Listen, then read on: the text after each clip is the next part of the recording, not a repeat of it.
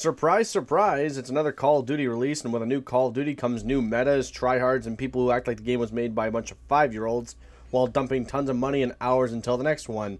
Wonder who that is. When I talk about metas, I mean the gun that pretty much every player and their mother is using, so meet the STG 44 and the MP 40.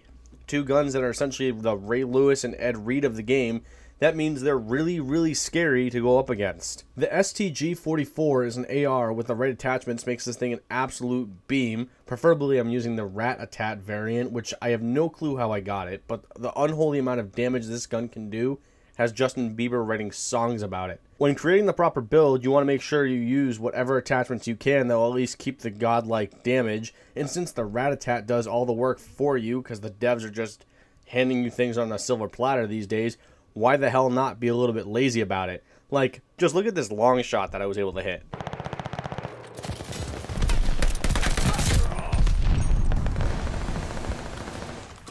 Damage like this is the reason why I call it the Ray Lewis of ARs. It might be bulky, it might be awful to go up against, but having it in your own arsenal, especially with its incredible damage and laser precision in intense matches, makes this gun the gun that separates the men from the boys. The MP40, on the other hand, it's small, it's fast, and usually the staple of any class for those MLG types.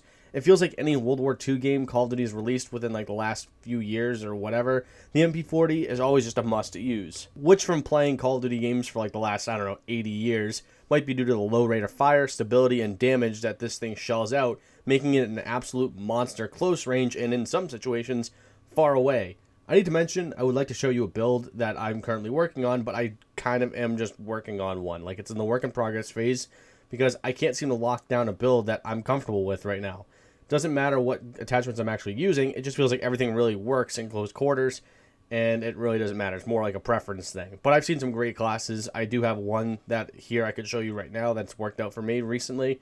So, have at it. Want to know what's annoying though? It's the fact that both these guns back in the alpha slash beta were already overpowered as fuck, but the developers outright either ignored that bit of feedback or they were more focused on building the world's greatest anti-cheat, which, by the way, is already being exploited by idiots. I mean, cheaters. Even though I'm enjoying the game more than any Call of Duty over the last like few years, I can't help be a little bit frustrated because it's been over and over the developers lack any sort of attention to the community feedback and like they've done pretty well so far with this game, but I feel like there's some things that they're kind of missing out on. Sort of feels like kind of same same but different.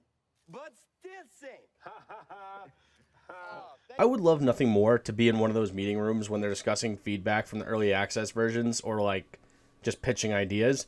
Like it's probably just a bunch of execs and one of them just going like, "Well, sir, the feedback is in. Players are hating the early access versions.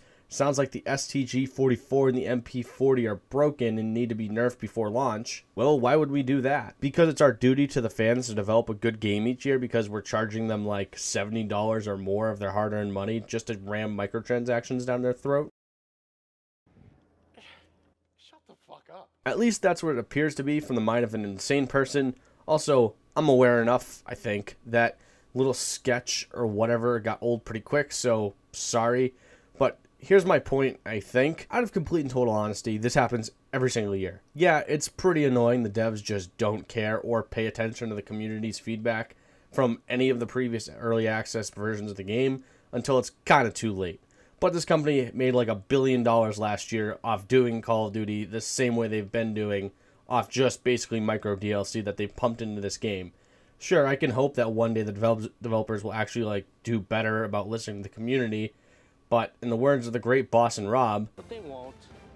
They never do. Anyways, that's it. Uh, what do you think of the STG 44 and MP40? Are they making you second guess your purchase, or have you just accepted that this is how Call of Duty makes money and that your opinion is pretty much invalid to them? Let me know in the comments section below. If you enjoyed the video, or even if you hated the video, feel free to like the video and maybe give it a follow for more similar stuff like this. Or not at all. Okay, bye.